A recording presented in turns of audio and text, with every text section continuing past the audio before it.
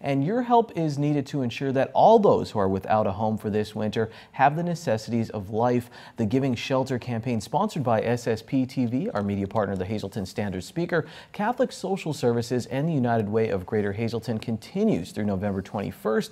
Lisa Shugart sat down with Neil Alberto, the Executive Director of Catholic Social Services, the organization that runs the Divine Providence Shelter, to talk about the shelter and how it is helping those in need. When folks come, if someone is in need, they come, they go through an interview process, and um, it's welcoming right from the start. Our uh, program coordinator, Mary Jo Pencala, actually very giving, nurturing person, so that's the first individual that they would meet, and explaining the whole process of what the sheltering is all about, what the rules, what the expectations are. An individual can stay up to 30 days.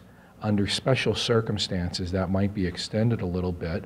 And the rules, regulations are there for everybody's protection um, and, and, and safety first and foremost. But it doesn't end there. You know, and again, there's a meal that's provided, volunteers coming in uh, to help provide those meals, and we're so grateful for those individuals who have been doing this for quite a few months now. Um, but what we try to do would be to connect individuals through supportive services to um, employment, education, and part of the intake application shows specifically what those needs might be. And so they're encouraged to do that. It's an opportunity, and we would hope that individuals take advantage of that opportunity. Well, as you're seeing the people come in, you're noticing that a lot of them are in need of certain items. You told me socks. People come in, they don't have socks.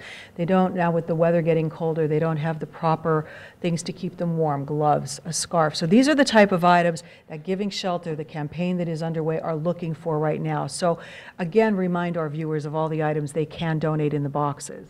We're looking again, and you had mentioned, it keeps coming back, socks, keeping those feet warm and everything is so vital because we're also looking at health, you know, and promoting good, good health there.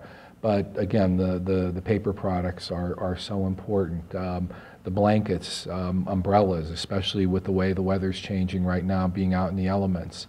Um, those types of things that would help to keep individuals, especially during the day, um, you know, warm and, and, and, and protected and whatnot. That's primarily what we're looking at through this.